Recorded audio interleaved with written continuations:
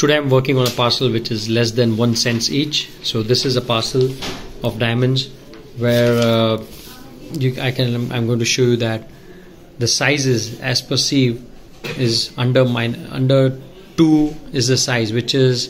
1.2 millimeter and less and each stone is less than 1 cent and this is how it looks. People who buy for uh, for grills for watches Europeans for watches Americans for grills and uh, you know uh, bust down watches uh,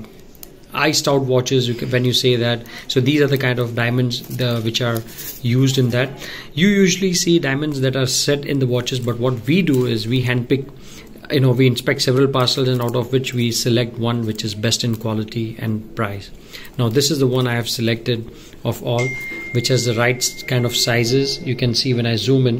you can see the kind of cut it has. Uh, all handpicked top brilliant cut diamond and has the top of the color top of the clarity or in general term it is called as white flawless uh, diamond quality